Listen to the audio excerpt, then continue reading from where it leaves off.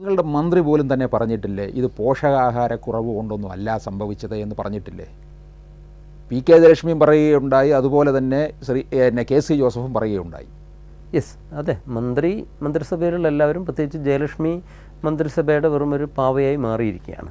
ആ മന്ത്രിയെ എന്തെങ്കിലും ചെയ്യാൻ നമ്മളൊക്കെ വലിയ പ്രതീക്ഷയോടെയാണ് ജയലക്ഷ്മിയെ കൊണ്ടുവരുന്നത്. ഞങ്ങൾ വ്യക്തിപരമായും ജയലക്ഷ്മിയെ കൊണ്ടുവരാനുള്ള ഇടപെടൽ നടത്തിയിട്ടുണ്ട്. പ്രത്യേകിച്ച് ജാനുമൊക്കെ തന്നെ ഉമ്മൻചാണ്ടി സാറിനെ കണ്ടിട്ടുണ്ട്. അവരൊക്കെ ജയലക്ഷ്മി കൊണ്ടുവരുന്നതിനെതിരായിരുന്നു.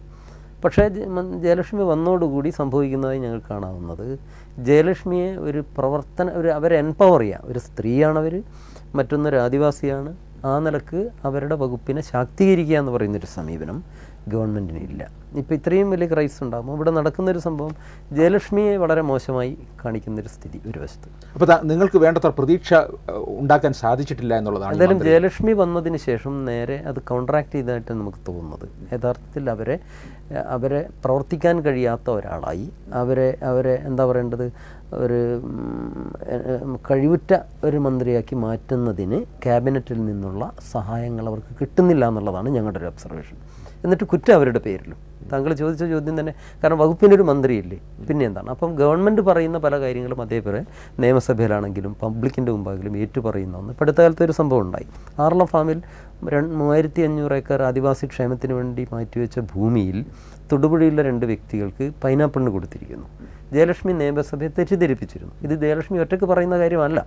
ജയലക്ഷ്മി പറയുന്നത് ആദിവാസികൾക്ക് തൊഴിൽ കൊടുക്കാനാണെന്നാണ്. അവിടെ ആദിവാസികളല്ല തൊഴിൽ ചെയ്യുന്നത്. ഏത് ഈ പൈനാപ്പിൾ പാട്ട കൃഷിക്കാരുടെ കൃഷി പണിക്കാർ അവരുടെ കൃഷി അവരുടെ തമിഴരും ബംഗാളികളുമാണ് പണിയുന്നത്.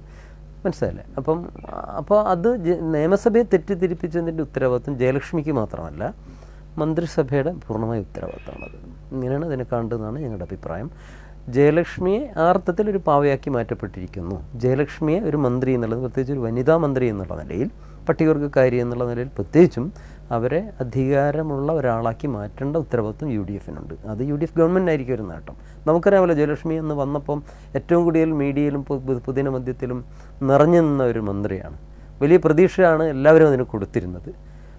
പക്ഷേ പിന്നീട് പിന്നീട് നമ്മൾ കാണുന്നത് ജയലക്ഷ്മിക്കെതിരെ ആദിവാസി സംഘടനകളുടെ പരസ്യ പ്രസ്ഥാനമായിട്ട് വരുന്നു എന്നുള്ളതാണ് കാണുന്നത്. ഇത് ജയലക്ഷ്മിയുടെ ഒരു കുറ്റമായിട്ട് മാത്രം കാണേണ്ടതില്ല അത് ഗവൺമെന്റ് യു ഡി എഫ് ഗവൺമെന്റിന്റെ ആദിവാസി പ്രശ്നത്തോടുള്ള അവർ നയത്തിന്റെ ഒരു തകർച്ചയുടെ ഭാഗമായി കാണേണ്ടതുണ്ട് പക്ഷേ നിങ്ങളുടെ ഇടയിൽ നിന്ന് വന്ന ഒരു മന്ത്രിക്ക് നിങ്ങളുടെ ഇടയിലുള്ള ചില കാര്യങ്ങളൊക്കെ വ്യക്തമായിട്ട് അറിയാവുന്നത് കൊണ്ട് തന്നെയല്ലേ അങ്ങനെ പറഞ്ഞിരിക്കുന്നത്? ഇതൊരു പോഷകാഹാരക്കുറവിലൂടെ അല്ല ഇത്തരത്തിലുള്ള മരണം സംഭവിച്ചിട്ടുള്ളത്. ഗർഭിണികളും മറ്റുമൊക്കെ തന്നെ മദ്യപാനം മറ്റ് ലഹരി വസ്തുക്കളൊക്കെ ഉപയോഗിക്കുന്നത് കൊണ്ടുള്ള പ്രശ്നങ്ങളിലേക്കാണ് ഇതൊക്കെ നീങ്ങിയത് എന്ന് പറയുന്നതിൽ അല്പം വസ്തുത ഇല്ലേ? വസ്തുതയില്ല മദ്യപാനത്തിന്റെ പ്രശ്നം അവിടെയുണ്ട്. പക്ഷേ ഈ കുട്ടികളുടെ മരണം അതും തമ്മിൽ യാതൊരു ബന്ധവുമില്ല എന്നുള്ളതാണ് ഞാൻ പറയാൻ ശ്രമിക്കുന്നത്. മദ്യപാന പ്രശ്നമുണ്ടെങ്കിലും മദ്യപാനമാണ് അട്ടപ്പാടി ഏറ്റവും വലിയ രോഗം എന്ന് നമ്മൾ അതിനെ ചിത്രീകരിക്കുമ്പോഴാണ് അല്ലെങ്കിൽ അതാണ് പട്ടിണി മരണങ്ങളെയും ശിശുമരണങ്ങളെയും അടിസ്ഥാന കാരണം എന്നുള്ളൊരു നിഗമനത്തിലെത്തുന്നതാണ് പ്രശ്നം. ഇതേ വാദം രണ്ടായിരത്തി ഒന്നിൽ നൂറ്റൻപത്തേഴ് ആദിവാസികൾ മരിച്ചപ്പോഴും മന്ത്രി കുട്ടപ്പൻ അന്ന് ഏറ്റവും കൂടുതൽ പ്രചരിപ്പിച്ച ഇതേ മന്ത്രി കുട്ടപ്പൻ അതിന് പിന്നീട് അത് വിഴുങ്ങേണ്ടി വന്നിട്ടുണ്ട്. അടിസ്ഥാന പ്രശ്നം ദാരിദ്ര്യമാണ്. ദാരിദ്ര്യം പിന്നെ കൃഷി മണ്ണിൽ നിന്ന് അന്യവൽക്കരിക്കപ്പെട്ടത് ആവശ്യമുള്ള ഭക്ഷണം കിട്ടാത്തതാണ് മരണം. സ്വാഭാവികമായിട്ടും സമയോചിതമായ ചികിത്സ കിട്ടാതിരിക്കുമ്പോൾ അവർ മരണപ്പെടും. ചീയമ്പം എന്ന് പറയുന്നൊരു കോളനി പുൽപ്പള്ളിക്കടുത്തുള്ള ചീയമ്പം കോളനിയിലുള്ള ഒരു യുവതി. അവർ മൂന്ന് ദിവസമായി കോളനിയിൽ ചികിത്സ കിട്ടാതെയിരുന്നു അവസാനം രാത്രി ഒമ്പത് മണിക്ക് മെഡിക്കൽ കോളേജിൽ കൊണ്ടുവരുന്നു. വെളുപ്പിന് മൂന്ന് മണി വരെ അവരെ പരിശോധിച്ചില്ല. മൂന്ന് മണിക്ക് പരിശോധിച്ചതിന് ശേഷം നിസ്സാര ഡീഹൈഡ്രേഷൻ ആയിരുന്നു അവരുടെ പ്രശ്നം. ഒരു എസ് ലായനി കൊടുത്തിരുന്നുവെങ്കിൽ രക്ഷപ്പെടാവുന്ന ഒരു ആദിവാസി യുവതിയായിരുന്നു. അവർ മരണപ്പെട്ടു. ഇതാണ്. അതുകൊണ്ട് ഡെഡ് ബോഡി വിട്ടുകൊടുക്കണമെങ്കിൽ പോസ്റ്റ്മോർട്ടം എനിക്ക് ഉറപ്പുണ്ട്. ആവശ്യമുള്ളൊരു പോസ്റ്റ്മോർട്ടം നടന്നാൽ ഇവർ കൃത്യമായും അനാരോഗ്യം കൊണ്ടും ആശുപത്രിയിൽ എത്തിച്ചതിന് ശേഷം സമയോചിതമായ നിസ്സാര ചികിത്സ കിട്ടാത്തതുകൊണ്ടാണ് മരിച്ചത്. ഇതാണ് സ്ഥിതി. അപ്പം ആദിവാസികളുടെ ആരോഗ്യത്തെക്കുറിച്ചും ആരോ അനാരോഗ്യത്തിന്റെ ഒരു പശ്ചാത്തലത്തെക്കുറിച്ചും ഗവൺമെന്റ് വേണ്ടവണ്ണം ആലോചിക്കുന്നുണ്ട്. ഇപ്പോൾ തന്നെ അട്ടപ്പാടിയിലെ ഈ പറയുന്ന ശിശുമരണത്തിന് ശേഷം സംഭവിക്കുന്നു. വീണ്ടും ഗവൺമെന്റായിട്ട് ബന്ധപ്പെട്ട ഗവൺമെന്റ് ഇതര സംഘടന എൻ ജി ഒസ് അല്ലെങ്കിൽ ഗവൺമെന്റുമായി ബന്ധപ്പെട്ട സംഘടനകൾ എൻ ജി ഒകൾ ഇവർക്കാണ് പണം കൊടുക്കുന്നത്. ഇവർക്ക് കിട്ടേണ്ടത് ഇവരുടെ നേരിട്ട് ഇവരിലേക്ക് എത്തുന്നില്ല. ഞാൻ പറയുന്നത് ആദിവാസികൾക്ക് കൊടുക്കാനുള്ള എന്തെങ്കിലും സബ്സിഡികൾ നേരിട്ട് അവരുടെ ബാങ്ക് അക്കൗണ്ടിൽ കൊടുത്തിരുന്നു എങ്കിൽ അവർ ഈ പരുവത്തിലാകില്ലായിരുന്നു. കുടുംബശ്രീ വരുന്നു. അതുപോലുള്ള നേരത്തെ ഹാർട്സ് വന്നു. അല്ലെങ്കിൽ ഹാർട്സ് ഉൾപ്പെടുന്ന പല കൺസൾട്ടന്റ് ഏജൻസികൾ വരുന്നു. പണ്ടുകാലത്ത് അട്ടപ്പാടിയിൽ ഒട്ടേറെ കോൺട്രാക്ട്മാരായിരുന്നു കോഴിക്കോട് നിന്ന് വരുന്നത് ഇപ്പോൾ കോൺട്രാക്ട്മാരുടെ എണ്ണം കുറഞ്ഞു. ആ ഹാർട്സ് വന്നതിന് ശേഷം. പക്ഷേ അത് വീണ്ടും തിരിച്ചു വരികയാണ്. ഇപ്പോൾ പുതിയൊരു പ്രതിഭാസം കൺസൾട്ടൻസി ഏജൻസികളും സർക്കാർ പ്രൊമോട്ട് ചെയ്യുന്നതോ സർക്കാരിലുമായി ബന്ധപ്പെട്ട ഉദ്യോഗസ്ഥർ കൊണ്ടുവരുന്നതായിട്ടുള്ള എൻ ജി ഒകൾക്കാണ് പണം കൊടുക്കുന്നത്. കുടുംബശ്രീ എന്റെ ഒരു നല്ല മാതൃകയാണ്. കുടുംബശ്രീക്ക് അൻപത് കോടി രൂപ പോഷകാഹാരക്കുറവിന്റെ പ്രശ്നം പരിഹരിക്കാൻ കൊടുത്തിട്ടുണ്ട്. ഇവരെന്ത് ചെയ്യുന്നു എന്ന് ചോദിച്ചാൽ സംസ്ഥാന തലത്തിൽ ചില പ്രചരണ വിഷയമാക്കി മാറ്റുന്നു. ആദിവാസി മേഖലയിലെ സ്ത്രീകളുടെ കുടുംബശ്രീ യൂണിറ്റുകളില്ല. അങ്ങനെ ഒരു യൂണിറ്റിന് വേണ്ടി ശ്രമിച്ചിട്ടില്ലേ പലപ്പോഴും? ഒരിക്കലും ശ്രമിച്ചിട്ടില്ല. എന്തുകൊണ്ട്? കുടുംബശ്രീ ഗവൺമെന്റിന്റെ ഒരു അപ്പാരറ്റസ് ആണ്. അത് അവർ ചെയ്യേണ്ട പ്രശ്നം. അല്ല ആദിവാസികളെയും അവർ ഒരു മുഖ്യധാരയിലേക്ക് കൊണ്ടുവന്നിട്ടില്ല എന്നാണ് അതിന്റെ അർത്ഥം. നിശ്ചയമായിട്ടും നിശ്ചയമായിട്ടും. ഇപ്പോൾ കുടുംബശ്രീയുടെ ഞാനിത് പറയാൻ കാരണം അട്ടപ്പാടിയിൽ ഈ പ്രശ്നം ആരംഭിച്ചതിന് ശേഷം മന്ത്രി ജയറാം രമേശ് ഗ്രാമ മന്ത്രാലയത്തിന്റെ വക്താവ് വന്ന് നൂറ്റി നൂറ്റി എൺപത്തി ആറ് കോടിയോ മറ്റും പ്രഖ്യാപിച്ചു. അതിൽ അൻപത്തി ഒന്ന് കോടി രൂപ കുടുംബശ്രീക്കാണ് കൊടുത്തത്. കൊടുക്കുന്നതിന് പല കാരണം സതുദ്ദേശത്തോടെ ആയിരിക്കാം കൊടുത്തിരിക്കുന്നത്. പക്ഷേ കുടുംബശ്രീ എന്ന് പറയുന്ന ഒരു സംഘടനാ സംവിധാനം അല്ലെങ്കിൽ സെൽഫ് ഹെൽപ്പ് ഗ്രൂപ്പുകളുടെ ഒരു സംവിധാനം ട്രൈബൽ ഏരിയയിൽ കേരളത്തിലെ ട്രൈബൽ ഏരിയ മാത്രമല്ല ദളിസിന്റെ ഇടയിൽ മത്സ്യത്തൊഴിലാളികളിൽ വീക്കർ സെക്ഷൻസ് നമ്മൾ പറയാവുന്ന അല്ലെങ്കിൽ മാർജിനലൈസ് എന്ന് പറയുന്ന സെക്ഷൻസിന്റെ ഇടയിൽ കുടുംബശ്രീ അത്ര നിലയിൽ ബിൽഡപ്പ് ചെയ്യപ്പെട്ടിട്ടില്ല. അതിനെന്ത് കാരണം എന്ന് ചോദിച്ചു കഴിഞ്ഞാൽ പല രാഷ്ട്രീയ ഘടകങ്ങളുണ്ടാകും കുടുംബശ്രീ പൂർണമായും രാഷ്ട്രീയമുക്തമാണ് എന്ന് നമുക്ക് പറയാൻ പറ്റില്ല. പിന്നെ അതിന്റെ ഹൈറാർക്കി പ്രശ്നമുണ്ട് എ ഡി സി പല പല സംഭവങ്ങളൊക്കെ. അപ്പോൾ അതിലൊക്കെ കഴിവുള്ളവർ എന്താണ് പറയേണ്ടത്? ഡാർവീനിയൻ സിദ്ധാന്തം അനുസരിച്ച് തന്നെയാണ് അത് പ്രവർത്തിക്കുന്നത്. എ ഡി സിയിൽ സ്വാധീനമുള്ളവർക്ക് കൂടുതൽ പ്രോജക്റ്റ് കിട്ടും.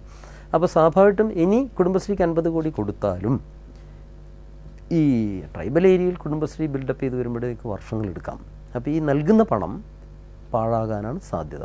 ഇപ്പോൾ കിട്ടിയിരിക്കുന്ന ഒരു അവർക്ക് നാല് കോടി രൂപ കണ്ണൂർ വയനാടുള്ള ആളുകൾ കഞ്ഞി വെച്ച് കൊടുക്കുന്നു എന്നൊരു പദ്ധതി ഉണ്ടെന്നാണ് പറയുന്നത്. പക്ഷേ ഇതെവിടെയും ഫലപ്രദമായി നിൽക്കുന്നില്ല ചില ഈ ആളുകൾക്ക് അരി ധാന്യങ്ങൾ വാങ്ങിച്ചു കൊടുത്ത് അവിടെ ഭക്ഷണം ഉണ്ടാക്കി വിളമ്പി കൊടുക്കുക.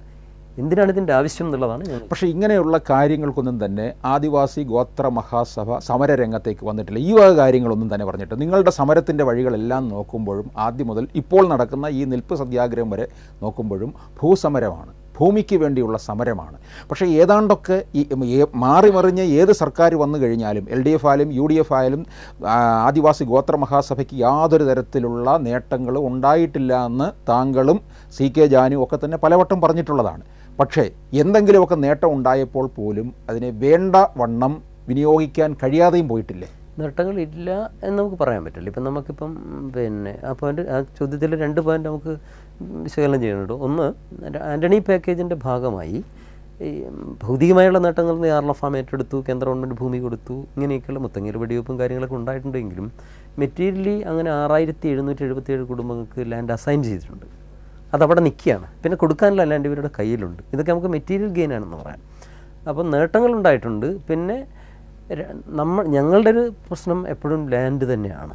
ലാൻഡാണ് ഒരു മർമ്മ പ്രശ്നം എന്നാണ് ഞങ്ങൾ മനസ്സിലാക്കുന്നത്. എന്നാൽ അതേസമയം തന്നെ ഇതിനകത്ത് നടക്കുന്ന അഴിമതി ഭരണ സംവിധാനത്തിലുള്ള അഴിച്ചുപണി അല്ലെങ്കിൽ ഭരണ പ്രോജക്റ്റുകൾ ഇത് ഫണ്ടിങ് പ്രോജക്റ്റുകൾ എങ്ങനെയായിരിക്കണം ഇത്തരം കാര്യങ്ങളിലൊക്കെ ഞങ്ങൾ ഇടപെടാറുണ്ട്. കത്തുകൾ കൊടുക്കുന്നു ചിലപ്പോൾ അതിനുള്ള ലോബി വർക്ക് നടത്താറുണ്ട് ഇതൊക്കെ ചെയ്യാറുണ്ട്. അപ്പം പൂർണമായിട്ടും ആ ഏരിയ അവഗണിക്കുന്നതല്ല. പിന്നെ ഞങ്ങളുടെ തന്നെ ഇനീഷ്യേറ്റീവായിട്ട് ചില പാഠശാല പ്രവർത്തനങ്ങളും എസ് എച്ച് ജി ബിൽഡപ്പ് ചെയ്യാനൊക്കെയുള്ള ശ്രമം ഞങ്ങൾ വയനാടൊക്കെ ആരംഭിച്ചു കഴിഞ്ഞിട്ടുണ്ട്. പ്രത്യേകിച്ചും ആ മുത്തങ്ങയും അതിന്റെ പോലീസ് കേസും അതിന്റെ ജയിൽവാസവും അതിന്റെ പീഡനങ്ങൾ കാരണമാണ് അത് അല്പം ഡൈവേർട്ട് ചെയ്തു പോയത്. അതായത് കാവേരി ആദിവാസി വനിതാ സൊസൈറ്റി എന്നുള്ള പേരിൽ എസ് എച്ച് ജി നെറ്റ്വർക്കൊക്കെ ഞങ്ങൾ ബിൽഡപ്പ് ചെയ്യുന്നുണ്ട്. എന്തായാലും താങ്കൾ ഉന്നയിച്ചൊരു പ്രശ്നം അതൊരു ന്യൂനതയായിട്ട് കണ്ട ഭൂമി തന്നെയാണ് വിഷയമെങ്കിലും മറ്റു വിഷയങ്ങളും ഞങ്ങൾ ശ്രദ്ധിക്കാറുണ്ട് ശ്രദ്ധിച്ചു തുടങ്ങിയിട്ടുണ്ട്. ഗവൺമെന്റ് പല വിഷയങ്ങളും ഇടപെടാറുണ്ട്. ഗവൺമെന്റിന്റെ മെഷീനറിയിൽ ഏറ്റവും വലിയൊരു തകരാറ് അഴിമതി തന്നെയാണ് എന്നുള്ളതാണ് ഞങ്ങളുടെ അഭിപ്രായം. അപ്പോൾ അത് ആ പ്രത്യേക വിഷയം ഒരു വലിയൊരു പ്രക്ഷോഭ വിഷയമായി പലപ്പോഴും മാറ്റുന്നതിൽ ഞങ്ങൾക്ക് വേണ്ട ഞങ്ങൾക്ക് വീഴ്ച പറ്റിയിട്ടുണ്ടെന്നുള്ള ഒരു വസ്തുതയാണ്. അഴിമതി എന്ന് പറഞ്ഞാൽ വളരെ ആഴത്തിൽ വേരൊഴി അഴിമതി ഈ വകുപ്പുകളിലുണ്ട്. പണ്ടൊന്നും ഇല്ലാത്ത തരത്തിൽ. പ്രത്യേകിച്ചും എസ് സി എസ് ടി ഇതുപോലെ ദുർബല വിഭാഗങ്ങളുടെ വകുപ്പിലൊക്കെ പണ്ട് കാലത്ത് അഴിമതി വളരെ കുറവായിരുന്നു. ഇപ്പം അഴിമതിയാണ് കൂടുതലും ഇവർക്ക് പ്രശ്നമായി മാറിയിരിക്കുന്നത്.